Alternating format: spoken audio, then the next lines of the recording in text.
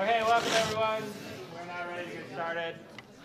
Uh, I'm Paul Bills. I'm co-president of the English Society. Uh, Tara Pina is the president of the English Society. Jared Pence is with the Graduate Student Association. Uh, he's done a lot of work with us. I'm sure there's a lot more people in this room that have done a lot of work on this as well. Um, this is the schedule as it stands now. If you go to englishsymposium.byu.edu, go to conference program, down to 2014, you can see all the panels, all your names. So you can start advertising to everyone you know that they should come and see everyone's panels. Um, awesome. So this is the uh, presentation etiquette night. Is that what we call it? Uh, and Dr. Burton, Dr. Gideon Burton, English professor, will uh, be presenting for us today. Dr. Burton has been at BYU for since 1994. Yeah, since 1994. Uh, he specializes in rhetoric and applies that to the digital world. and he will be teaching us and presenting for us on digi digital, no, on presentation etiquette.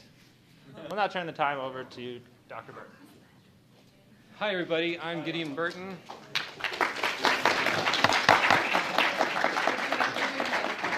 Oh, that's that's the etiquette, right?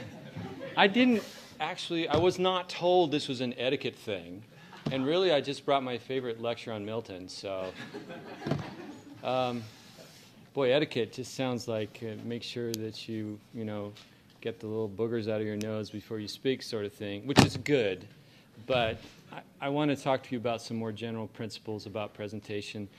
And, and I assume that for most of you, this may be the first time that you've spoken at an, an academic conference. So I want to kind of give you that framework, help you to understand what sort of beast it is and how to tame it. Um, I have a presentation booted up here, and I decided to call it How to Present Kick-Buttedly. Um, I, I don't know why, I just did.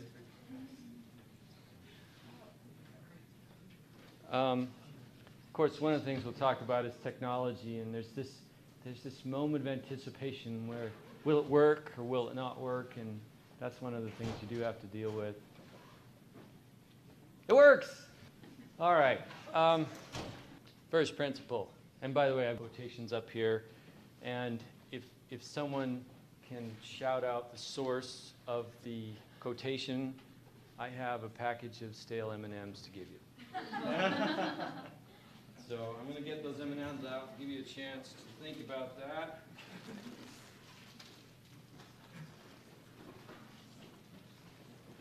Anyone have the quotation?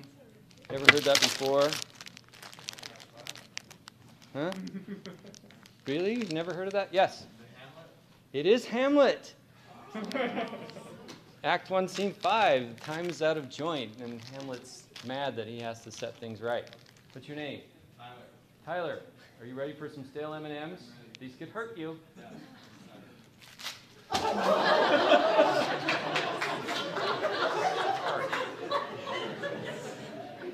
I, suddenly, the risks go up. You know how they tell you if you're teaching primary, don't use candy as a bribe for people? Well, that's just for primary. Bring candy if you want. People will be happy. Um, if you do not observe the time, no one will listen to you. They will hate you. I want you to remember, well, okay, that was overstated. Okay, maybe it wasn't overstated. I want you to recall back to that time when the High Council speaker in your ward got up at, you know, five minutes to the hour to give his 20 minute long talk, and how you indulge him for about 10 minutes, but then as it gets into the time for the closing song, your attention starts to wane. First, you're a little bit indulgent. Eh, he's telling a pretty good story. Then, pretty soon, you're like, I have a primary lesson to teach, and this guy is encroaching on my time. And suddenly, even if the sermon was on charity, you're out of charity, right? Think about that. Think. Your audience will indulge you for the full amount of time that you have, but they will turn into a vicious mob with torches and pitchforks. And you know this because you are that mob. and you will bring your pitches and pit those tor- whatever I just said. Okay. Um, how much time do you have? 15 minutes. So really think that you have more like 13 minutes, and then you'll be on the safe side. Uh, next principle. Anyone know this one? Speak the speech I pray you, trippingly on the tongue. Midsummer Night's Dream. Midsummer Night's Dream. Right author, wrong play. It's from Hamlet. It is from Hamlet. Who said that? If if you want your M and M's though, you're gonna have to do better than that. Better than that, than No, like where in the play? When he's speaking to the actors who um, put on. Excellent. I'm gonna hand deliver this. Give. To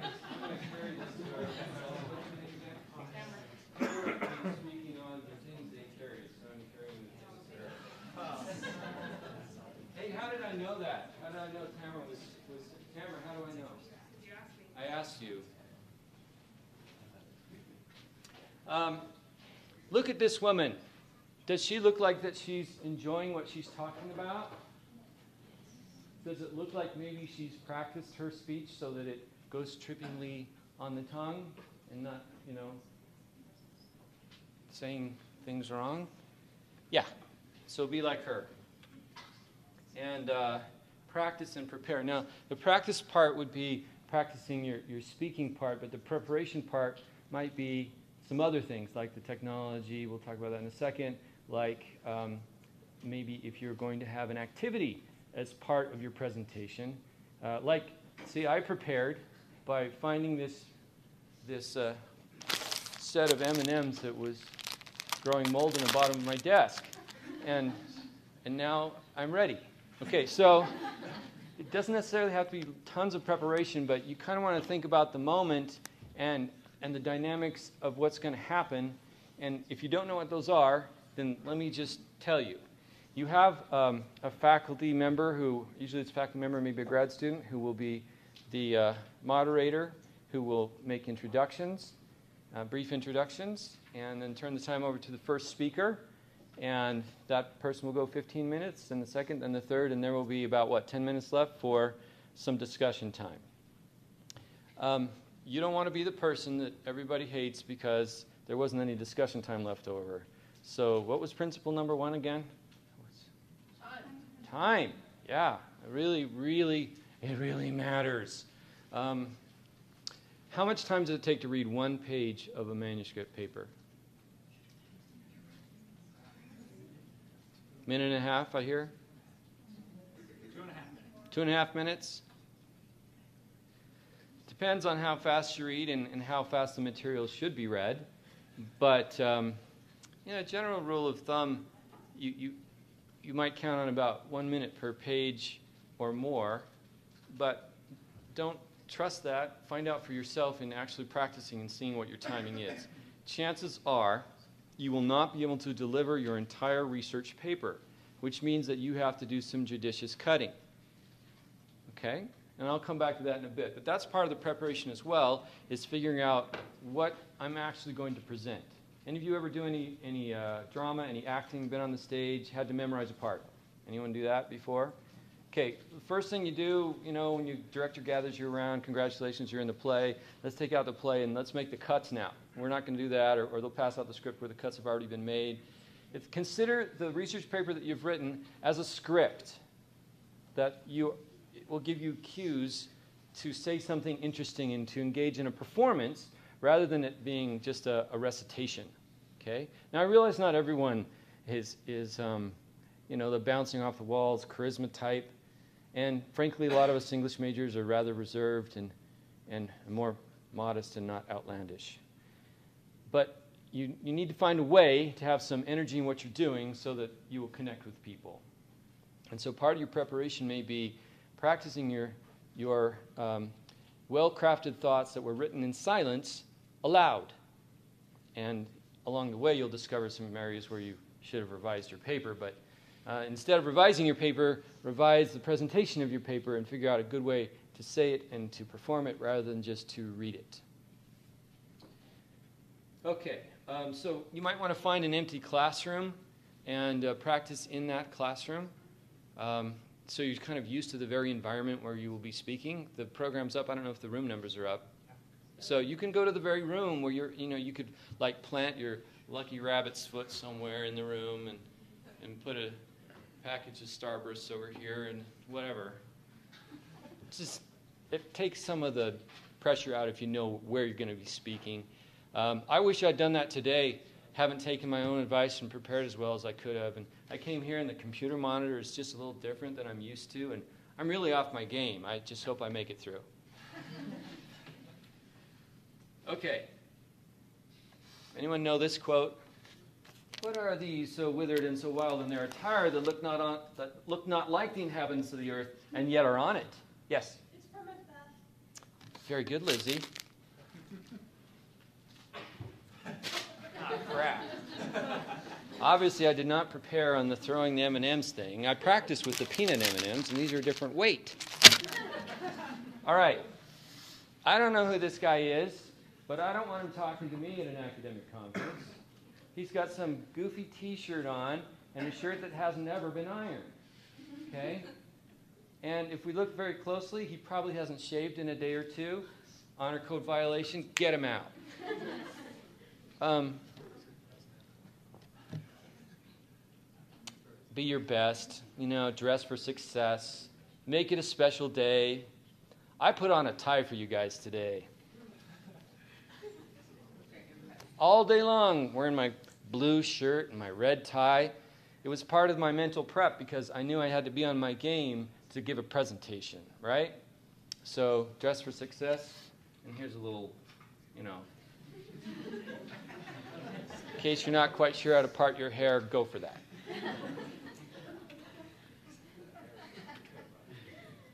All right. I teach rhetoric, so I had to do this. Friends, Romans, countrymen, lend me your ears. Yes. Julius Caesar. Very good. Remind me of your name. Jane. Are you sure? Because I thought you were someone else. Nope. I am the one and only. There you go. Julius Caesar. Um, anyone know who was speaking or what the occasion was for the speaking? Mark Antony was speaking. Caesar had recently been murdered. Body's right in front of him. Funeral speech, sort of thing, right? You don't want this to be your funeral speech. That wasn't why I put the quote up there. Um, we tend to have a focus on our individual product, the thing that we spent such time crafting with all of our blood, sweat, and adverbs. And that's good because you made a good thing and you got accepted for presentation. But you need to shift your focus now, and it needs to be about the people, right? I mean, you need to actually try to communicate rather than just there happen to be people in the room while I'm reading my paper aloud. It's exercising a different part of your brain. We really don't practice much in terms of oral presentation, occasionally do a group presentation. Um, so that's why we have meetings like this to prep you so that just to remind you that you, you, your oral skills of communication differ than your written skills. And if you want to get people interested, you have to think about the people that are actually there. Now, if you have done any acting, you know that you can kind of read the crowd. You can tell whether they're paying attention to you or not. And there's a real danger when you're reading an academic paper that you will lose people. And then in the day of smartphones, people are all too happy to start referring to their Facebook updates instead of listening to that brilliant thing that you put together.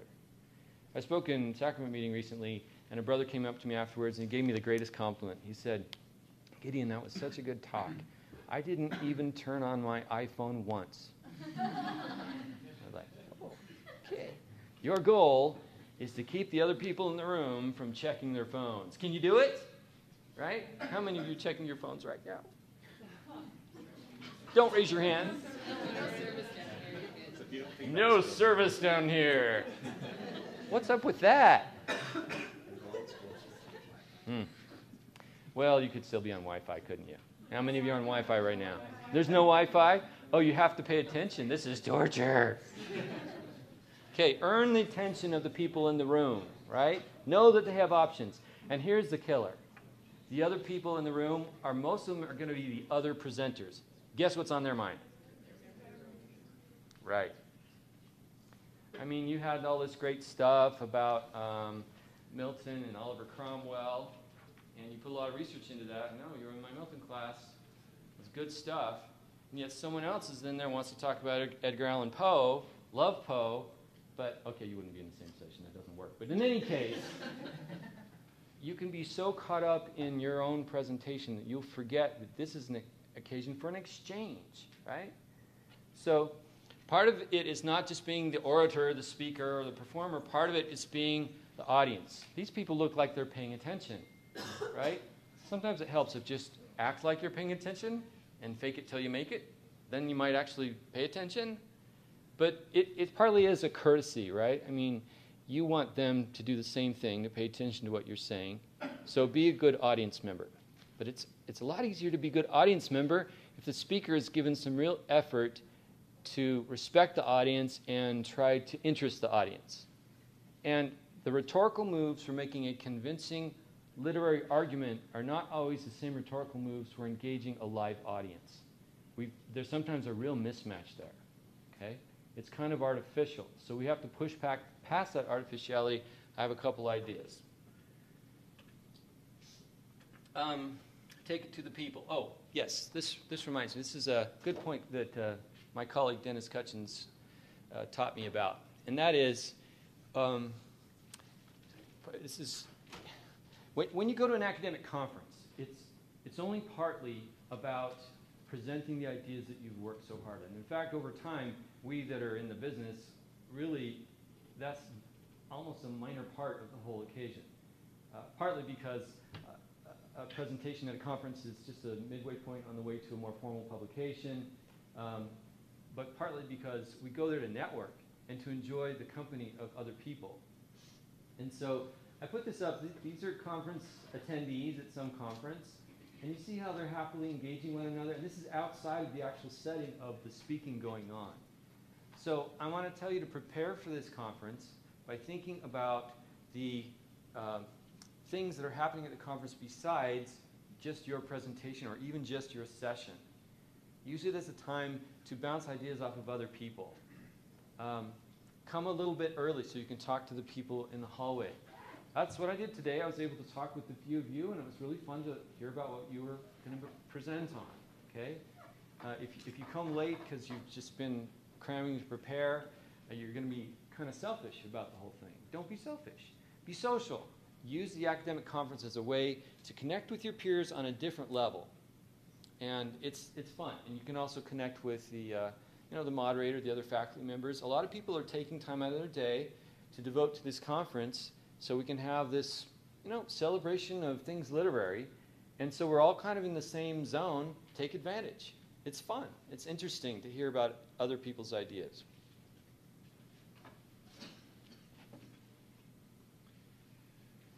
Okay, anyone know this one? This is my last M&Ms, even though it's not my last point. So the next points, there's just going to be no motivation to pay attention. Maybe I should open up this and just feed them out one M&M at a time. not all right, anyone know this quotation? Oh, reason not the need. Yes? Is that King Lear? That is King Lear. It's, is that Tyler next to you? Tyler's neighbor. Tyler's neighbor? Okay, because you both kind of have the same glasses, and I didn't know if you were trying to work something here. Um, what's your name, Tyler's neighbor? Race. Race?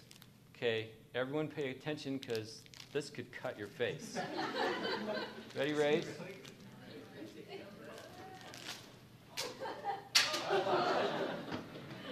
I'm calling that a victory.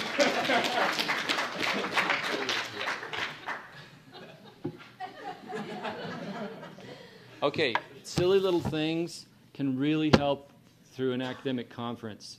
I'm telling you, what did Mark Twain say about the Book of Mormon? It's chloroform in print. Almost any academic paper is chloroform in print. I'm sorry, guys. This is just reality. You wrote it to be read silently, and yet they're asking you to read it aloud. What's up with that? You've got to find some way to mix it up and make it interesting, and it's not going to be by sitting there and reading every word in a monotone voice until we want to poke needles in our eyes.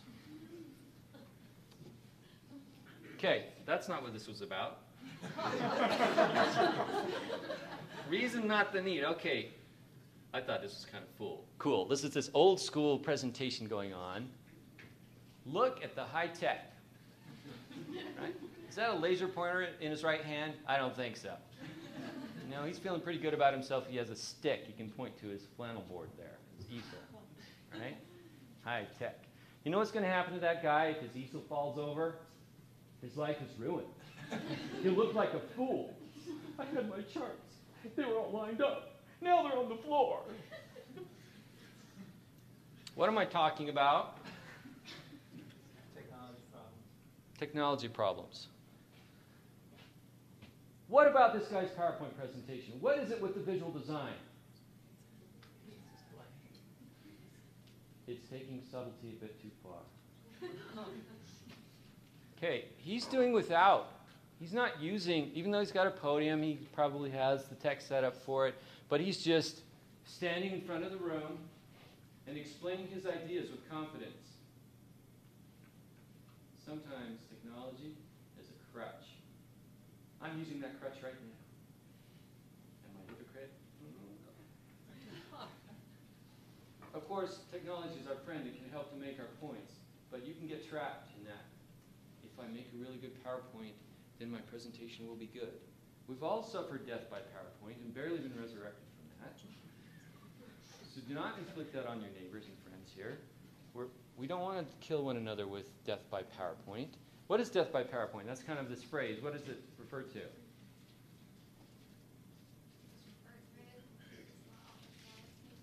Yeah, if, if you just have a bunch of slides and then uh, it's almost insulting to the, the people there that, okay, maybe you can read or maybe you can't. So I'm just going to err on the side of caution here and read every word that's on the screen.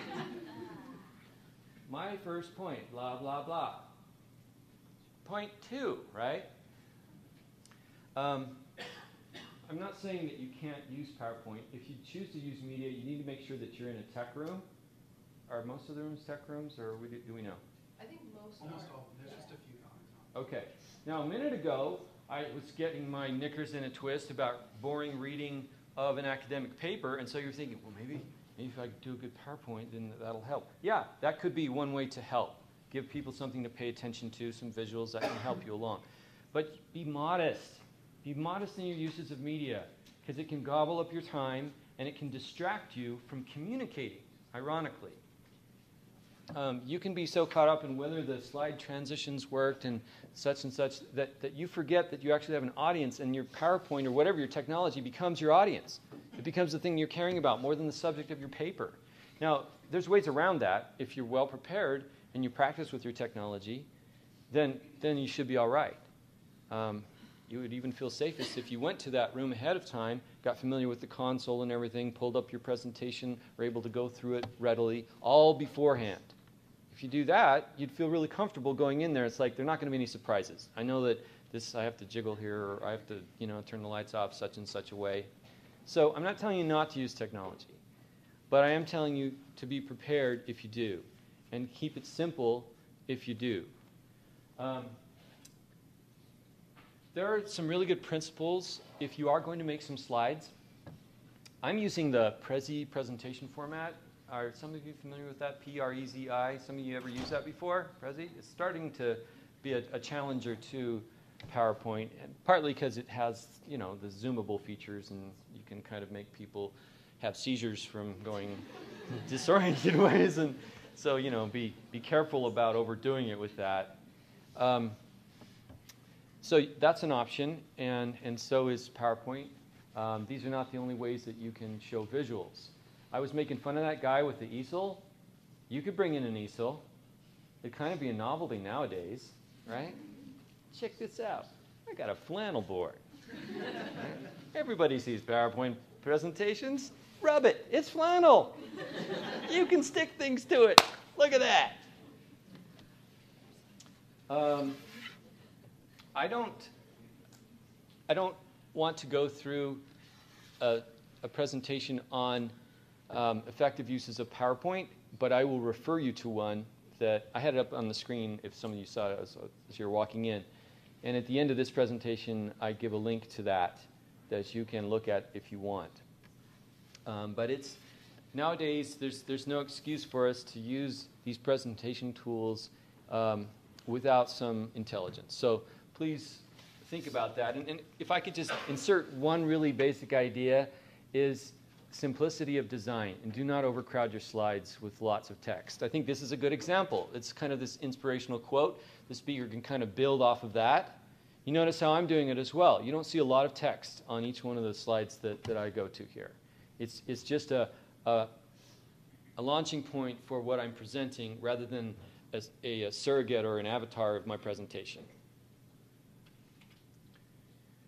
All right, so keep it simple and even ask yourself can I do without, right? Maybe the power of the human voice and some good eye contact and some gestures can actually deliver the goods better than some technology. Um, okay. Now, um, I didn't expect you to know this when I ran out of candy anyway. This is from King John. Can you not read it? Is it not fair writ? I've already been alluding to this, but I'm going to show you three pictures here, and you're going to get my point. Wh- which of these are likely to be more engaging presenters? This guy, this guy, it's Norman Mailer, or this woman? Okay, let me put it this way. If, if you had to go and listen to a presentation, how many of you would like to listen to guy number one at the top? Just raise your hand. You also have a love for loose leaves. You got a binder. I'm there. I'm with you, buddy. I love love reading like that. How about Norman Mailer? Even if you didn't know it's Norman Mailer, famous author, doesn't this guy look like he's either just about to have a great epiphany or a heart attack? and either way, you're going to pay attention, right? There's going to be sirens of a literal or a metaphorical type on the way, right? So he's trying to connect with his audience. He's using some gestures. I love that. That woman, look at her. Although it kind of, it's almost a kind of Nazi-esque sort of, you know, ideological rant going on here. You don't need to go that far, you know. Have any of you seen the, the that episode of The Office where Dwight is giving the speech at the sales meeting? and he's he's like repeating a speech from Mussolini or something like that. and it was so energizing for everyone, right? That's interesting because, of course, they weren't really closely listening to the content, they were just being rallied to the cause. There's something powerful about a powerful delivery, um, regardless of the content. Of course, we, you already have good content, so let's blend a, a happy delivery with some, some good content. And uh, maybe you need to practice your gestures, right? I don't know. Is that silly? Maybe it's a little silly. But you might try reading in front of a mirror, right? And, and just kind of seeing. Or, or if you dare, set up a, uh, your camera, your phone on video or something, and, and watch yourself presenting. And then go back and watch it and, and think, okay, well, how could I do that and maybe have more eye contact in the middle of that? Or maybe I could interrupt what I'm doing and ask a question. You notice how that I've been doing that? That I've, I haven't just been giving you a monologue. There have been several points where I've asked for minor but important feedback from the audience to keep them engaged. You might go through the text of your, your manuscript and, and uh, even mark little places where you could insert, you could pause and ask a question. Today I'm going to be talking about the great story of the Cask of Amontillado from Edgar Allan Poe. Uh, what's your name again? Audrey. Audrey's doing that, yes? And Audrey, she could pause and say, Have any of you ever read that before? And already, it's like, oh, this is, this is a friendly little back and forth. Okay. And one of you goes, Well, yes, I have read that, plus all of Poe's complete works. And so you're like, Yes, I have read it, right? Or someone else says, Before I was a Mormon, I drank wine. Whatever. I guess a, a little side note is you need to keep control of your audience, and so you don't want to get carried away with your wine bibbery or whatever. Um, but back to my point, and that is if you if you're practicing as you should practice, you may want to think in your mind, how can I engage the people? How many of you have taught primary before? Okay. How many of you will eventually teach primary? All hands should go up. Okay. The, the church is really good about having attention activities and keeping things simple, right? No, but wait a minute. I'm, I'm talking to people that are college age, and I use big words like deconstruction. And okay, that's good, but pull back a little and pretend as though the people that you're talking to have not just been through a whole semester where they, they really got into the guts of Derrida, right, Ben? Not everybody knows about Derrida. And some people, when they hear his word, they start to break out into a sweat. Any of you sweating right now? I am, just a little bit. So you could be patient and say, you know, I'm not going to assume that you know what Derrida is all about, so I'm going to tell you about this one concept of différance and what, what it means. It might mean that you need to kind of slow down and spell out a concept or two, which in your paper you didn't feel you need to because you were kind of imagining talking to your fellow class members or your teacher who already knew all this stuff, right? Think about your audience. Now, some of you might be getting nervous here because it sounds as though I'm saying that you have to revise your paper in order to present it. Now, I'm just saying you need to um, revisit it so that you, it's in an adequate format for an effective presentation. At the very least, you need to cut it within the time. But I'm also suggesting that you find ways of having moments of audience interaction, and so that it's not just a straightforward monologue. And you could also interrupt it with some activities. And that's kind of what I think I've already. Um, oh, okay. Now, um, this, this uh, other this blog post that I'll refer you to at the end of this presentation um, talks about four principles of really good presentations.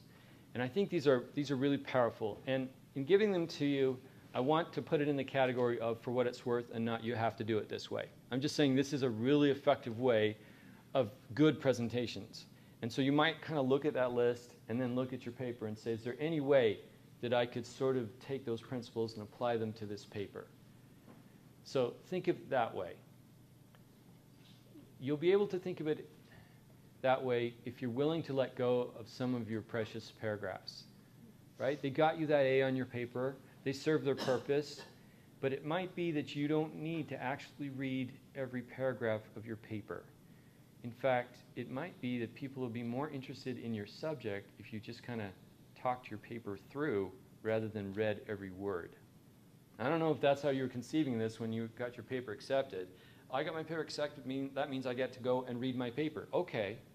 But what if you're trying to serve your subject and your audience rather than serving the memory of a moment where you put all these ideas down in eight to ten pages? Okay, just think about that. So here's this, here are these four principles that, that are really effective. First of all, is to show your passion. Now at BYU, we have to have that within certain bounds, and so please, in showing your passion, you know, keep your clothing on and, and your language clean, and, and uh, clear which animals you bring. Um, but you can show your passion about anything. And look, if, you, if I don't believe that you're interested in this, I certainly am not going to be interested in. Okay? Even if it's something that I'm supposed to be interested in. You know, Edgar Allan Poe, everyone's supposed to know him and be interested in him, but I really don't care. Um, but if, is it Audrey? If Audrey is up there and she says, the cask of Amontillado. I'm just brutalizing this. Sorry. I'm, I'm so sorry. But if she shows some sort of passion about it, oh, I don't mean to be ridiculous about this. I just mean to show some energy, right? One way of showing the passion is to tell a story. Okay? What if instead of reading your paper, paragraph one, paragraph two, paragraph three, that you kind of just set that aside? You know it's there, you can refer to it, you can quote from it, there's some good parts you've highlighted, but what if instead of doing that, you told the story of your paper?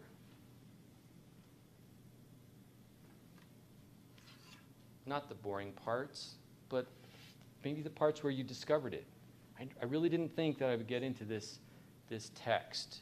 And yet I did. And I started connecting because of such and such. And, it, and then we brought up this one theory in class, and so and so commented on it. And then we started doing research, and I found this one guy who said this ridiculous thing. And I thought, I got to set him straight. Suddenly I'm writing my paper. And I came up with this, right? And I mean, I just made that up on the spot. And I didn't have any specifics in there. But you're already ready to hear my imaginary paper, aren't you? You're, you're engaged because I showed some passion about it, right? So if you have a real thing, things that you really have invested in, these ideas you spend a lot of time with, these authors, these texts, you love them. They mean something to you. They shaped you. They informed you. They're part of what's made you an English major, right? So let your light shine about that. Let us feel that you care about it. And one way to do that is to tell a story about it. It doesn't have to be the story of the paper, it could be a story that um, is maybe a story from the life of the author of the work that you're talking about. Or it could be a story of the reception of the play that you're discussing. Or it could be a story of um, uh, your, your um, I just ran out of a last example. But tell a story. People are engaged in, in those and, and they connect with those. Make a claim. Now, you say, well, I already have a thesis statement. Okay, well, that, that can be your claim. But you could also have a claim as to why we should care about your claim. And what, what's the, what are the stakes here? Okay, I, I proved to you that, uh, uh, what's, your, what's your claim then about Cromwell again? I forgot. Oh, just that uh, Cromwell and, uh, and also uh, Milton were sort of factors in how Milton characterized Satan in Paradise All right, so you're making a claim that says that Oliver Cromwell is part of what informed the creation of the character of Satan in Paradise Lost, right? Okay. Um, and that's, that's interesting, but I know it's interesting because I know something about the history and the literature. But others may not know that. And so, you know, maybe there's a larger story here, the, the larger impact of your claim. You should pay attention to this because it will change the way that you think about one of our most important works of literature. All right? Um, can make a claim about your, the importance of what you're doing. And finally, there can be a call to action. Now, what is that? It sounds like a sales term. It is a sales term, but it's, it's something, it's an invitation for engagement that goes beyond the moment. So, here's a couple of ideas. Keep it simple. Um, invite people to read your complete paper. You know, I've only been able to sketch a few of the points from here because I only had 15 minutes, and some of the paper was kind of dense, and so I really only got to a few of the major points. But I've really sold it to you, and so someone is like, "Can I have a copy of that? I'd really like to read the whole thing." What a great compliment it would be to you if someone said that, right? Now you'd have to be prepared and either have copies of it or be able to give them a link to where they could find it online. But think of that as a, a call to action. At the end of this, I want you not to just walk away, but to look at it in a more formal way by reading my paper. Um, another call to action is to have people, to challenge people to, to tell someone about it. You know, there's, there's a human interest angle probably to almost any work of literature. Um, you, you try to find a scenario in which it would be relevant to people beyond just the few people that are talking to one another about it. More and more, I have faith that the things we study as literature majors have broad significance to our extended families and our loved ones and people that would never pick up a book on their own. It just is a matter of our willingness to build a bridge of relevance to those people.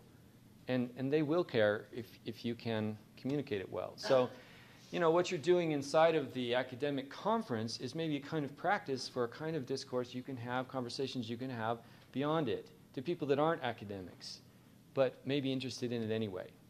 Uh, I had a student a while ago who, and I was challenging them to, to take this seriously and take their ideas, take them out on the street, and find out that pe- real people, everyday people, care about your things. Well, he actually did go out on the street. He found some homeless guy under a bridge in Provo and said, I'm going to have a conversation with you about Shakespeare. Guess what? This guy says, Oh, I love Hamlet. And he started going reciting passages.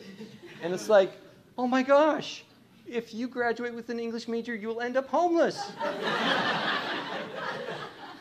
no, that wasn't it. The, the, oh my gosh, people really do connect with this. I had another um, uh, group of students who were studying Henry V, and if you know that play, you know it's there's that St. Crispin's Day speech, "We few, we happy few." That's a very thrilling speech. Well, they went and talked to some guys in the ROTC program. They're not English majors, okay? I don't know what you study if you're in ROTC. Military science. Military science, okay. And uh, so they want to get their opinions about some of the military angles on Henry V and just, you know, humor us. We want to talk to you about a Shakespeare play. I kid you not, two of the cadets, they dropped what they're doing and recited the entire St. Crispin's Day speech. Have a little faith that what you're talking about has relevance beyond just this present semester or this conference, that it can matter to other people. And so think of this conference as a, uh, a first run at practicing communicating your ideas more generally to people. Lizzie?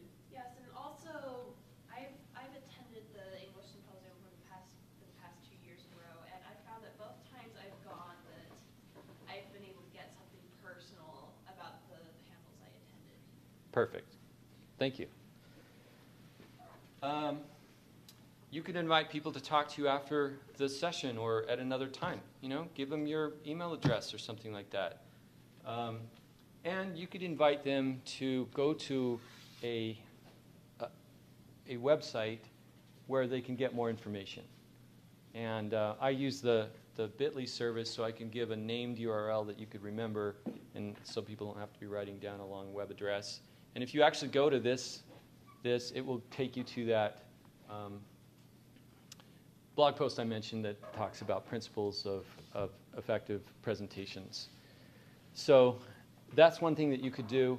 Give people something that they can act on outside of the moment, and that could be as simple as bringing a couple copies of your paper with you and handing it out, or it could be handing them that. Um, I didn't mention handouts in general. Uh, if you want to use a handout, that's a good way of maybe um, having some quotations or some other things that maybe you're not going to take the time to read full text from your paper, and you could put those on a handout and say, well, there's this great quote about free speech from Milton's Areopagitica, but it's a little long and wordy, so I've just put it on the handout for you to read on your own, but I'll just kind of refer to the concepts from it. Um, or you could put an outline, or you could do whatever else, but you could give some, something for them to look at while, while they are listening to you talk. Okay. Um, I guess I just wanted to wrap up by having just this i don't want you to actually cause a revolution just the, the kind of the spirit of vitality and change. Ideas are supposed to change you you know? I, I love that quote from franz kafka about a book should be an ice for the frozen sea within us you know? It's like yes this stuff changes things. It makes a difference. It's not just some namby-pamby thing we close ourselves off and read and get all aesthetic and whatever. These ideas matter convey it. Convince me. Tell them. Let's let's make sure that you believe it and then they will okay? And and then last of all it really is about the people. It's not about the paper right? You're there to give a paper. Well give the paper. Don't give the paper. Does that make sense?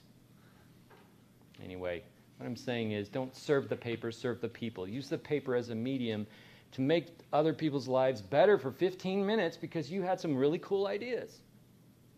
Okay that'll just take some rehearsing a little changing of a frame of mind and so I'm, I'm done now, and I'll have just a little bit of Q&A. Um, and then we have a very short activity to wrap up, and we'll be out of here early. So do you have questions about presentation? Yes? You said that there's 15 minutes each, but if you're on a panel, is it still 15 minutes each? How does it work? Um, as long as you're a panel of three, it's fifteen minutes each. I think there's a couple of panels of two, so then you've got like Squishy time. squishy time, I guess is what it calls it. But we say about fifteen minutes each, and then Q and A ten minutes after. Okay. Other questions? Oh, and I, I was just gonna say, and the professor who's there in the room with you, or the person who's the moderator, usually knows your subject, and they will come up with the questions, they'll like guide the discussion and, and help so that you don't have to be, feel like you're in charge of the whole discussion afterwards, so. Yes. So we won't have questions within our fifteen minute No. period? No. We'll only do questions after everyone's done? Yes. That's sometimes done differently at different conferences. This is how we're doing it for this one. That can add a level of like competition. You want to have all the questions, you know?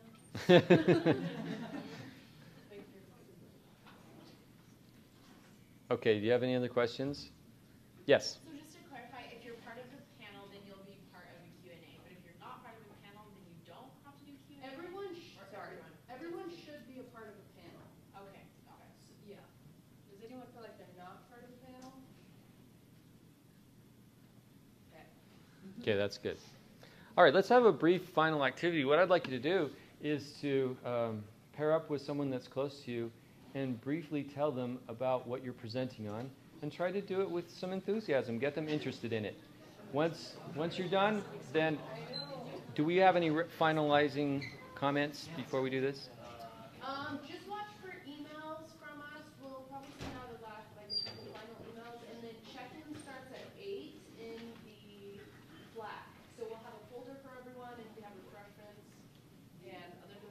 Foreign Language Activity Center, Yep, right across the hall here. B zero zero three, and Yeah, so you need to come, you're gonna get a portfolio there and your name badge and everything, so we need to know you're here, so we can let the moderators know that, so.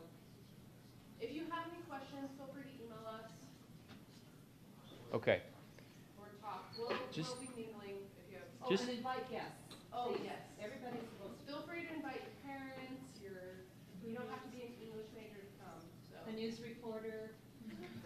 former babysitters.